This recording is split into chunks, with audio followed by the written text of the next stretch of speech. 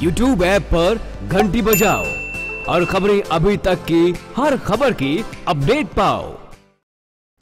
इसी के साथ बढ़ते अगली खबर की तरफ़। हिमाचल प्रदेश के जिला लाहौल स्पीति की चंद्रभागा पीक पर सफ़ाई के लिए गई एक टीम को वायुसेना विमान के कुछ टुकड़े मिले हैं। साथ ही टीम को एक मानव अवशेष भी मिला है। मनाली से चंद्रभागा पीक पर गई टीम ने इसकी सूचना भारतीय रक्षा मंत्रालय को दे दी है। बताया जा रहा है कि ये विमान वायुसेना का एएएन बारह विमान है जो कि उन्नीस में हिमाचल प्रदेश की लाहौल घाटी में चंडीगढ़ से लेह तक उड़ान भरने के दौरान 102 कर्मियों के साथ दुर्घटनाग्रस्त हो गया था।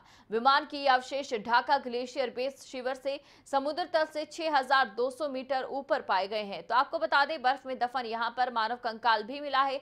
चंद्रभागा पीक पर सफ़ाई करने गई थी एक टीम और वहाँ पर उसे विमान के अवशेष मिले हैं। लाहौल घाटी में अवशेष मिले हैं और बताया जा रहा है कि ये लापता विमान ए ए एन बारह के अवशेष हो सकते हैं और साथ ही यहाँ पर बर्फ़ में दफन एक कंकाल भी मिला है।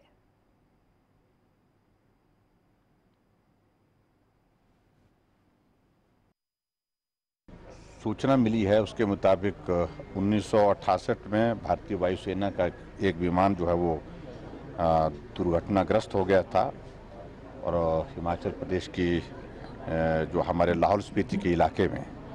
और उसमें तो बहुत बड़ी तादाद में जो है 102 यात्री उसमें थे।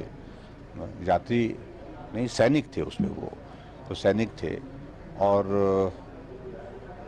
अभी जो सूचना मिली है, उस सूचना के मुताबिक वहाँ जो पर्वतारोही वहाँ पर जा रहे थे उनको विमान का मलबा भी मिला है और मलबे के साथ एक शव भी मिला है। शव के अवशेष मिले हैं कुछ।